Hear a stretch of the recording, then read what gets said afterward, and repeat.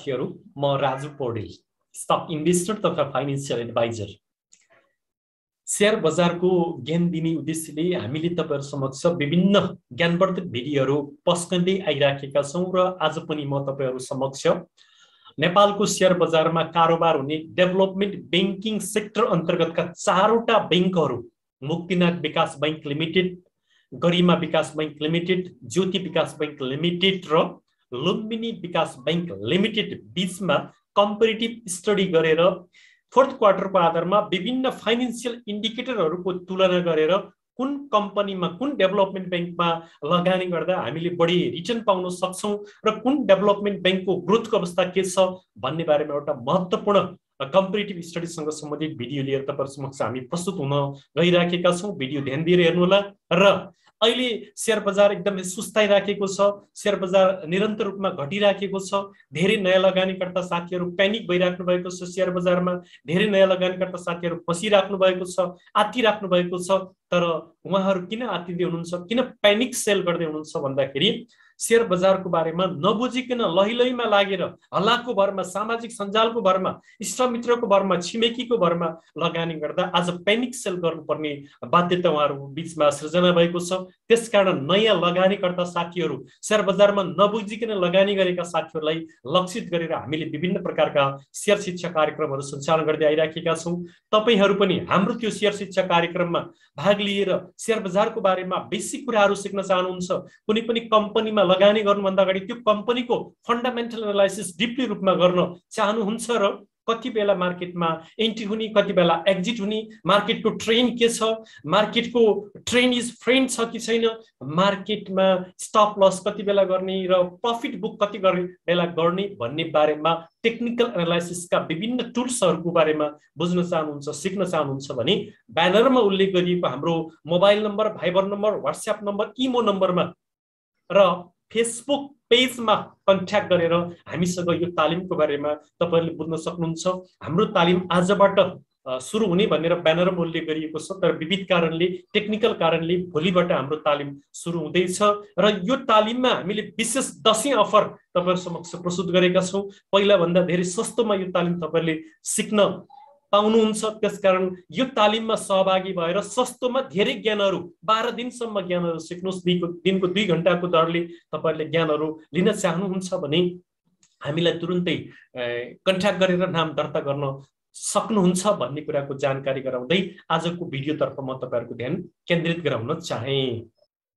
Video सुरु गर्नुभन्दा अगाडि यदि अहिलेसम्म पनि हाम्रो यो स्टक गुरु युट्युब च्यानललाई सब्सक्राइब गर्न भ्याउनु भएको छैन बेल बटनमा थिच्न भ्याउनु भएको छैन भने सब्सक्राइब गर्नुहोला र बेल बटनमा पनि थिच्नुहोला र आजको भिडियोलाई लाइक र कमेन्ट गर्नुहोला भन्दै अब म तपाईँहरूको ध्यान आजको यो भिडियोतर्फ केन्द्रित गराउन चाहन्छु। मैले आज गरिमा Bikas bank limited Muktinath Bikas bank limited ज्योति विकास बैङ्क लिमिटेड र लुम्बिनी विकास बैङ्क लिमिटेड बिचमा फोर्थ क्वार्टरको आधारमा विभिन्न फाइनेन्सियल टुलहरूको कम्पेरिटिभ स्टडी गरेर कुन ब्याङ्कको सेयरमा लगानी गर्दा बढी हामीले रिटर्न पाउन सक्छौँ र कुन ब्याङ्कको ग्रोथको अवस्था के छ भन्ने बारेमा जानकारी दिन गइराखेको छु। सर्वप्रथम पेड अफ क्यापिटलको आधारमा गरिमा विकास बैङ्क लिमिटेडको टोटल पेड अफ क्यापिटल तिन अरब सतसठी करोड उन्साठी लाख बाह्र हजारभन्दा माथि रहेछ भने ज्योति विकास बैङ्क लिमिटेडको तिन अरब चौरासी करोड अडचालिस लाख बाइस हजारभन्दा माथि रहेछ। मुक्तिनाथ विकास बैङ्क लिमिटेडको पेड अफ क्यापिटल चार अरब एकासी करोड पन्ध्र लाख पचास हजारभन्दा माथि रहेछ भने लुम्बिनी विकास बैङ्क लिमिटेडको पेड अफ क्यापिटल दुई अरब नब्बे करोड चौसठी लाख त्रिपन्न हजारभन्दा माथि रहेछ। यसरी पेड अफ क्यापिटलको आधारमा सबैभन्दा स्ट्रङ र बलियो bank Muktinath Bikas bank limited देखियो भने सबैभन्दा कमजोर bank Lumbini Bikas bank limited देखियो। र यसबाट पनि के थाहा हुन्छ भन्दाखेरि जसको पिड अफ क्यापिटल बढी छ त्यसको सप्लाई हाई हुन्छ। जसको पिड अफ क्यापिटल कम हुन्छ त्यसको सप्लाई लो हुन्छ। सप्लाईको आधारमा Lumbini Bikas bank limited best देखिन्छ भने अर्को हामीले हेर्नुपर्ने इन्डिकेटर रिजर्भ हो। जुन कम्पनीको रिजर्भ एकदमै स्ट्रङ छ रिजर्भ धेरै छ त्यो कम्पनी लगानीकर्तालाई राम्रो रिटर्न दिन सक्छन् भन्ने हामीले आकलन गर्न सक्छौँ। त्यसबाट हेर्दाखेरि गरिमा विकास बैङ्क लिमिटेडको वान एक अरब एकसठी करोड अठहत्तर लाख चौहत्तर हजारभन्दा माथि यसको रिजर्भ रहेछ भने ज्योति विकास बैङ्क लिमिटेडको एक अरब अडचालिस करोड सत्र लाख सत्तालिस हजारभन्दा माथि यसको रिजर्भ रहेछ। त्यस्तै गरी मुक्तिनाथ विकास बैङ्क लिमिटेडको एक अरब उनासी करोड चौसठी लाख तिरासी हजारभन्दा माथि यसको रिजर्भ रहेछ भने सबैभन्दा बढी रिजर्भ भएको लुम्बिनी विकास बैङ्क लिमिटेड रहेछ जसको रिजर्भ चाहिँ दुई अरब अडतिस करोड बयानब्बे लाख सत्तालिस हजार भन्दा माथि यसको रिजर्भ छ। रिजर्भबाट हेर्दाखेरि सबैभन्दा स्ट्रङ नम्बर वान कम्पनीमा लुम्बिनी विकास बैङ्क लिमिटेड पढ्न सफल भयो भने दोस्रोमा चाहिँ मुक्तिनाथ विकास बैङ्क लिमिटेड तेस्रोमा चाहिँ गरिमा र चौथोमा चाहिँ ज्योति विकास बैङ्क लिमिटेड पढ्न सफल भए। यसरी हामीले अब हामी तपाईँहरूलाई टोटल एसेट पनि हेर्न सक्नुहुन्छ। यो गरिमाको यति रहेछ टोटल एसेट ज्योतिको यति रहेछ मुक्तिनाथको यति रहेछ भने लुम्बिनीको सबैभन्दा कम रहेछ टोटल एसेट। अब हामी तपाईँहरूलाई कुनै पनि बैङ्क तथा वित्तीय संस्थाको प्रमुख आय स्रोत भनेको ब्याज दर हो उसले लगानी गरेर कमाएको ब्याजको आधारमा उसको इन्कम कति भयो भन्ने कुरा हामीले भन्न सक्छौँ। यस आधारमा नेट इन्ट्रेस्ट इन्कम भनेको लोनमा लिएको ब्याजबाट डिपोजिटर होल्डरहरूलाई दिएको ब्याज घटाइसकेपछि नेट इन्ट्रेस्ट इन्कम आउँछ। जुन इन्कममा गरिमा विकास बैङ्क लिमिटेडले एक अरब तिरानब्बे करोड पैँसठी लाख उन्तिस हजारभन्दा बढी इन्ट्रेस्ट इन्कम आर्जन गर्न सफल भएछ भने ज्योति विकास बैङ्क लिमिटेडले एक अरब पाँच करोड एकहत्तर लाख उन्तिस हजारभन्दा बढी नेट इन्ट्रेस्ट आर्जन गर्न सफल भएछ। मुक्तिनाथ विकास बैङ्क लिमिटेडले दुई अरब सत्तरी करोड पैँतालिस लाख छयत्तर हजारभन्दा बढी यसले नेट इन्ट्रेस्ट इन्कम आर्जन गर्न सफल भएछ भने अर्को चाहिँ लुम्बिनी विकास बैङ्क लिमिटेडले एक अरब बाइस करोड एक लाख तिन हजार नेट इन्ट्रेस्ट इन्कम आर्जन गर्न सफल भएछ। यसरी नेट इन्ट्रेस्ट इन्कमको आधारमा एकदमै strong बैङ्कमा Muktinath Bikas bank limited पढ्न सफल भयो भने दोस्रोमा चाहिँ गरिमा विकास बैङ्क लिमिटेड तेस्रोमा ज्योति विकास बैङ्क लिमिटेड र अन्तिममा चाहिँ लुम्बिनी विकास बैङ्क लिमिटेड पढ्न सफल भएको देखिन्छ। त्यस्तै गरी हामीले हेर्नुपर्ने अर्को प्रमुख इन्डिकेटर टोटल अपरेटिङ इन्कम पनि हो। टोटल अपरेटिङ इन्कम भनेको व्यवसाय कोर बिजनेस सञ्चालन गरेर यी डेभलपमेन्ट ब्याङ्कहरूले कति आम्दानी गर्न सफल भए भन्ने कुरा हामीले बुझ्नुपर्ने हुन्छ। कोर बिजनेस भनेको यिनीहरूको जुन व्यवसाय हुन्छ लोन डिपोजिट कलेक्सन गर्ने ऋण लगानी गर्ने जुन व्यवसाय छ त्यो व्यवसायबाट गरिमा विकास बैङ्क लिमिटेडले दुई अरब पैँसठी करोड चौबिस लाख उनानब्बे हजारभन्दा बढी टोटल अपरेटिङ इन्कम गर्न सफल भएछ भने ज्योति विकास बैङ्क लिमिटेडले दुई अरब एकतिस करोड बाइस लाख नब्बे हजारभन्दा बढी यसले चाहिँ net operating total operating income गर्न सफल भएको रहेछ। मुक्तिनाथ विकास बैङ्क लिमिटेडले तिन अरब सत्तरी करोड पैँतिस लाख उनासी हजारभन्दा माथि रहेछ भने सबैभन्दा कम चाहिँ लुम्बिनी विकास बैङ्क लिमिटेडको जो एक अरब सन्ताउन्न करोड पैँसठी लाख छैसठी हजारभन्दा माथि यसको टोटल अपरेटिङ इन्कम रहेछ भने त्यसै गरी अपरेटिङ प्रफिट बिफोर प्रोभिजनको अवस्था यस्तो रहेछ। प्रोभिजन गर्नुभन्दा अगाडिको अपरेटिङ प्रफिट अब हामीले त्योभन्दा पनि अपरेटिङ प्रफिट कति छ त भनेर हेर्नुपर्ने हुन्छ। अपरेटिङ व्यवसायबाट आर्जन गरेको प्रफिटमा गरिमा विकास बैङ्क लिमिटेडको एक अरब सोह्र करोड नब्बे लाख बयानब्बे हजार रहेछ भने ज्योति विकासको एक अरब छ करोड दुई लाख छयत्तर हजार भन्दा माथि यसको अपरेटिङ प्रफिट रहेछ भने मुक्तिनाथ विकास बैङ्क लिमिटेडको एक अरब त्रिसठी करोड सात लाख छ हजारभन्दा बढी त्यसको चाहिँ अपरेटिङ प्रफिट रहेछ भने यो लुम्बिनी विकास ब्याङ्कको चाहिँ सत्तरी लाख सत्तरी करोड सत्तरी लाख छैसठी हजार यसको चाहिँ अपरेटिङ प्रफिट रहेछ भने प्रफिट फ्रम रेगुलर एक्टिभिटिजबाट यी विभिन्न ब्याङ्कहरूले यति आर्जन गर्न सफल भएका रहेछन् दैनिक गतिविधिहरूबाट भने। अर्को चाहिँ हामीले हेर्नुपर्ने चाहिँ नेट प्रफिट हो जुन नेट प्रफिटले यो कम्पनीले कति नाफा अर्जन गर्न सक्यो फोर्थ क्वार्टरसम्म आइपुग्दा भन्ने सन्दर्भमा गरिमाले चाहिँ बयासी करोड बाहन्न लाख अठासी हजार ए भन्दा माथि यसले नेट प्रफिट आर्जन गर्न सफल भएको रहेछ भने ज्योति विकास ब्याङ्कले चौहत्तर करोड सोह्र लाख अस्सी हजारभन्दा बढी नेट प्रफिट आर्जन गर्न सफल भएको रहेछ।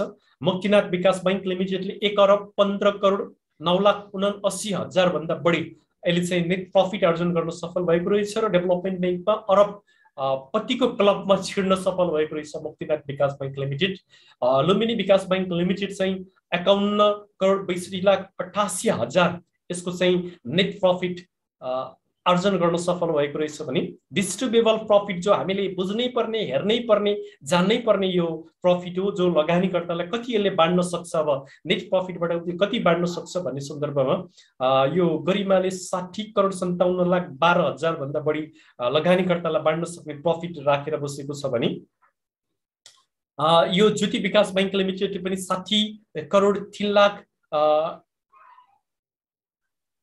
तिस लाख चौतिस हजार साठी करोड तिस लाख चौतिस हजारभन्दा बढीले डिस्ट्रिब्युबल प्रफिट बनाएर बसेको रहेछ भने मुक्तिनाथ विकास बैङ्क लिमिटेडले छयासी करोड पाँच लाख बत्तिस हजारभन्दा बढी यसको वितरण योग्य प्रफिट रहेछ भने लुम्बिनी विकास बैङ्क लिमिटेडको सैतिस लाख सैतिस करोड सात लाख तिरानब्बे हजारभन्दा बढी यसको डिस्ट्रिब्युबल प्रफिट रहेछ। यसरी डिस्ट्रिब्युबल प्रफिटको आधारमा सबैभन्दा स्ट्रङ बैङ्क चाहिँ मुक्तिनाथ विकास बैङ्क लिमिटेड पढ्न सफल भयो भने दोस्रोमा चाहिँ गरिमा तेस्रोमा ज्योति र चौथोमा चाहिँ लुम्बिनी विकास बैङ्क लिमिटेड पढ्न सफल भएको रहेछ। क्यापिटल फन्ड टु आरडब्लुए भन्ने जो टेन पर्सेन्ट मेन्टेन गर्नुपर्ने हुन्छ यसले एघार पोइन्ट बयालिस यसले बाह्र पोइन्ट तिरासी मुक्तिनाथले एघार पोइन्ट सोह्र र लुम्बिनीले बाह्र पोइन्ट छयासी मेन्टेन गर्न सफल भएको रहेछ। नन पर्फर्मिङ लोन जो खराब कर्जा प्रतिशत छ यो गरिमाको जिरो पोइन्ट बहत्तर पर्सेन्ट रहेछ ज्योतिको जिरो पोइन्ट अस्सी पर्सेन्ट रहेछ मुक्तिनाथको जिरो पोइन्ट पच्चिस पर्सेन्ट रहेछ भने लुम्बिनी विकास बैङ्क लिमिटेडको दुई पोइन्ट तेह्र पर्सेन्ट रहेछ। सबैभन्दा कम खराब कर्जा भएको बैङ्कमा पनि मुक्तिनाथ विकास बैङ्क लिमिटेड नै पढ्न सफल भएछ भने दोस्रोमा चाहिँ गरिमा विकास बैङ्क लिमिटेड पढ्न सफल भएको रहेछ। अर्को चाहिँ total loan loss provision to NPL एनपिएलको लागि प्रोभिजन गरेको रकममा जुन माथि हजार एक दस सय हजार दस हजार एक लाख तिरासी हजार रुपियाँ यसले खराब कर्जाको लागि प्रोभिजन गरेर बसेको रहेछ भने ज्योति विकास बैङ्क लिमिटेडले दुई लाख उन्तिस हजार प्रोभिजन गरेर बसेको रहेछ। मुक्तिनाथले जम्मा छ लाख सत्तालिस हजार यसले प्रोभिजन गरेर बसेको रहेछ। यसले चाहिँ एक लाख चालिस हजार प्रोभिजन गरेर बसेको रहेछ। लोमिनी विकास बैङ्क लिमिटेडले कस्ट अफ फन्डमा जिरो पोइन्ट सत्र यसको रहेछ। गरिमाको यसको पोइन्ट पाँच पोइन्ट पचासी चाहिँ जेबिबिएलको ज्योति विकासको मुक्तिनाथको छ पोइन्ट छब्बिस र लुम्बिनीको छ पोइन्ट तेत्तिस रहेछ। क्रेडिट टु डिपोजिट रेसियो यसको चाहिँ छयत्तर पोइन्ट तिस रहेछ। यसको अस्सी पोइन्ट पचासी रहेछ। यसको अठहत्तर पोइन्ट जिरो चार रहेछ। यसको एकासी पोइन्ट अडतिस रहेछ। यस मानेमा सबैभन्दा बेस्ट गरिमा विकास बैङ्क लिमिटेड देखियो भने बेस रेट रहेछ बेस रेट भनेको लोनको ब्याज दर निर्धारण गर्ने आधार दर हो।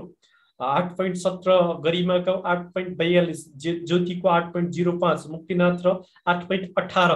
लोमिनीको रहेछ तपाईँहरू ऋण खान जानुभयो ब्याङ्कमा भने सबैभन्दा सस्तो ब्याजमा यी चारवटा मध्ये सस्तो ब्याजमा मुक्तिनाथ विकास बैङ्क लिमिटेडले दिन सक्ने अवस्था देखियो भने नेटवर्क फर सेयर जो गरिमाको एक सय चौवालिस पोइन्ट जिरो एक ज्योतिको एक सय अडतिस पोइन्ट त्रिपन्न छ भने मुक्तिनाथ विकास बैङ्क लिमिटेडको एक सय एकचालिस पोइन्ट उनपचास र लुम्बिनी विकास बैङ्क लिमिटेडको सबैभन्दा बढी एक सय बयासी पोइन्ट बिस नेटवर्क पर सेयर रहेछ यस मानेमा लुम्बिनी विकास बैङ्क लिमिटेड एक नम्बरमा र ज्योति गरिमा विकास बैङ्क लिमिटेड दुई नम्बरमा पढ्न सफल भयो भने आइपिएसको आधारमा हामीले हेर्दाखेरि गरिमाको बाइस पोइन्ट पैँतालिस ज्योतिको उन्नाइस पोइन्ट उन्तिस मुक्तिनाथको तेइस पोइन्ट बयानब्बे र लुम्बिनीको सत्र पोइन्ट छयत्तर छ भने डिस्ट्रिब्युबल इपिएस अब यी कम्पनीहरूले आर्थिक वर्ष सतहत्तर अठहत्तरको खुद नाफाबाट कति प्रतिशत आफ्ना लगानीकर्तालाई डिभिडेन्ड दिन सक्छन् भन्ने कुरा हामीले यहाँबाट आकलन गर्न सक्छौँ। गरिमा विकास बैङ्क लिमिटेडले कम्तीमा पनि सत्र पर्सेन्ट सजिलैसँग सोह्रदेखि सत्र पर्सेन्ट सजिलैसँग आफ्ना लगानीकर्तालाई रिटर्न दिन सक्ने अवस्था देखियो भने ज्योति विकास बैङ्क लिमिटेडले पनि सोह्र पर्सेन्ट दिन सक्ने अवस्था देखियो। मुक्तिनाथ विकास बैङ्क लिमिटेडले अठार पर्सेन्ट सजिलैसँग दिन सकि सक्ने अवस्था देखियो भने लुम्बिनीको सबैभन्दा कम रहेछ बाह्र पोइन्ट पचहत्तर। यसले पनि तेह्र प्रतिशतसम्म आफ्ना लगानीकर्तालाई रिटर्न दिन सक्ने अवस्था देखियो। यो कम्पनीले सेयर बेचेर राम्रो मुनाफा आर्जन गर्दैछ भन्ने हल्ला पनि बजारमा चलेको छ। यसलाई पनि हामीले आधार मान्नुपर्ने हुन्छ। Price to earning ratio PE रेसियोको आधारमा हामीले कुन कम्पनी सबैभन्दा ओभर भ्यालुडमा छ र कुन कम्पनी सबैभन्दा अन्डर भ्यालुडमा भ्यालुडमा छ भनेर हेर्दाखेरि गरिमा विकास बैङ्क लिमिटेड चौबिस पोइन्ट चालिस पी रेसियो रहेछ। ज्योति विकासको पच्चिस पोइन्ट जिरो सात जिरो चार मुक्तिनाथ विकास बैङ्क लिमिटेड सत्ताइस पोइन्ट एकासी र लुम्बिनी विकास बैङ्क लिमिटेड उन्तिस पोइन्ट नब्बे सबैभन्दा over भ्यालुडमा Lumbini Bikas bank limited रहेछ भने सबैभन्दा अन्डर भ्यालुमा चाहिँ गरिमा विकास ब्याङ्क लिमिटेड रहेछ। रिटर्न अन इक्विटी आरओए एनालाइजमा हेर्दाखेरि सबैभन्दा माथि इक्विटी भएको कम्पनी राम्रो मानिन्छ। पन्ध्र पोइन्ट अन्ठाउन्न जो गरिमाको रहेछ। ज्योतिको तेह्र पोइन्ट बयानब्बे मुक्तिनाथको सोह्र पोइन्ट नब्बे र लुम्बिनीको नौ पोइन्ट चौहत्तर रहेछ यसबाट हेर्दाखेरि सबैभन्दा स्ट्रङ ब्याङ्क मुक्तिनाथ र दोस्रोमा चाहिँ गरिमा विकास ब्याङ्क लिमिटेड पढ्न सफल भयो अब हामीले विभिन्न इन्डिकेटरहरू केलाइसकेपछि अब म तपाईँहरूलाई के कुराको रिफर गर्न चाहन्छु भने यदि तपाईँहरू डेभलपमेन्ट ब्याङ्कको कम्पनीहरूको सेयरमा लगानी गर्न चाहनुहुन्छ र हाई रिटर्न खान खोज्दै हुनुहुन्छ भने हामीले विभिन्न इन्डिकेटरलाई आधार मान्दाखेरि सबैभन्दा स्ट्रङ ब्याङ्क मुक्तिनाथ विकास ब्याङ्क लिमिटेड देखियो भने दोस्रोमा चाहिँ गरिमा विकास ब्याङ्क लिमिटेड देखियो। तेस्रोमा ज्योति र चौथोमा लमिनी विकास ब्याङ्क लिमिटेड देखियो। यसरी मैले यदि यी कम्पनीमा लगानी गर्न खोज्दैछु लगानी गर्छु भने एक नम्बरमा मैले मुक्तिनाथ विकास ब्याङ्क लिमिटेडलाई राखेर लगानी गर्छु भने दोस्रोमा गरिमा विकास ब्याङ्क लिमिटेडलाई राखेर लगानी गर्न चाहन्छु। त्यस्तै गरी विभिन्न ग्रोथ चार्टबाट हेर्दाखेरि यी चारवटा ब्याङ्क अवस्था के छ भनेर पनि म तपाईँहरूलाई यो नेट प्रफिटको आधारमा नेट प्रफिट यिनीहरूको ग्रोथ कस्तो छ नेट प्रफिटको ग्रोथ भनेर पनि यहाँबाट देखाउन चाहन्छु। जस्तै मुक्तिनाथले ब्लु कलरले जनाइराखेको छ भने मुक्तिनाथलाई एलओली गरिमा ग्रिनले चाहिँ लुमिनी विकास र रेडले चाहिँ ज्योति विकास ब्याङ्क लिमिटेडलाई देखाइराखेको छ यो नेट प्रफिटको आधारमा मुक्तिनाथ विकास ब्याङ्क लिमिटेडको एकदमै ग्रोथ हाई ग्रोथमा देखिराखेको छ भने दोस्रोमा चाहिँ गरिमा तेस्रोमा चाहिँ ज्योति र चौथोमा चाहिँ लुमिनी विकास ब्याङ्क लिमिटेड देखिएको अवस्था छ त्यसै गरी अर्को कुनै इन्डिकेटर पनि तपाईँले यहाँ ग्रोथ चार्टबाट हेर्न सक्नुहुन्छ जस्तै तपाईँले यहाँबाट इपिएस एनालाइजको ग्रोथको अवस्था के छ भनेर पनि हेर्न सक्नुहुन्छ यसबाट हेर्दाखेरि अहिले सबै कम्पनीहरूको इपिएस घटेर फेरि माथि ग्रोथको अवस्थामा लम्कदै गरेको अवस्था देखिन्छ। मुक्तिनाथको सबैभन्दा हाइएस्टमा छ दोस्रोमा चाहिँ गरिमा छ तेस्रोमा ज्योति र चौथोमा चाहिँ यो लुम्बिनी विकास ब्याङ्क लिमिटेड पढ्न सफल भएको रहेछ। अब म तपाईँहरूलाई यी चारवटा डेभलपमेन्ट ब्याङ्कहरूको फोर्थ क्वार्टरको आधारमा विभिन्न फाइनेन्सियल टुल्सहरूलाई विश्लेषण गरेर कन्क्लुजनमा के बताउन चाहन्छु भने यदि मैले यी डेभलपमेन्ट ब्याङ्कको सेयरमा लगानी गर्ने हो भने एक नम्बरमा मैले मुक्तिनाथ विकास ब्याङ्क लिमिटेडको सेयरमा लगानी गर्न चाहन्छु भने दोस्रोमा गरिमा विकास ब्याङ्क लिमिटेडको सेयरमा तेस्रोमा चाहिँ ज्योति विकास र चौथो अन्तिममा मैले लुम्बिनी विकास ब्याङ्क लिमिटेड राख्न चाहेँ यसरी तपाईँहरूले हाम्रो यो भिडियो हेरिसकेपछि यसैको आधारमा सेयरमा लगानी गर्नुपर्छ यी कम्पनीमा लगानी गर्नुपर्छ भन्ने हाम्रो सन्देश होइन कि? यो एउटा शिक्षा दिने उद्देश्यले मात्रै भिडियो बनाइएको तपाईँहरूले कुराहरूका सुन्ने निर्णय आफै गर्ने हो। मैले आफ्नो कन्क्लुजन दिएँ। यी चारवटा ब्याङ्कको अवस्था मैले तपाईँहरू समक्ष प्रस्तुत गरिसकेँ। अब यो भिडियो हेरेर सेयर खरिद बिक्री गर्ने निर्णय गर्नु होला। तपाईँहरूले पनि आफै पनि अध्ययन गरेर कुन कम्पनीमा लगानी गर्यो भने बढी रिटर्न आउँछ। भन्ने कुराको जानकारी लिएर लगानी गर्नुहोला भन्दै यो भिडियो हेरिसकेपछि सेयर गर्नु नभुल्नुहोला लाइक र कमेन्ट गर्नुहोला पोजिटिभ फिडब्याक दिनुहोला र आजलाई म यो भिडियोबाट बिताउन चाहन्छु। हस् नमस्कार। फेरि अर्को भिडियोमा।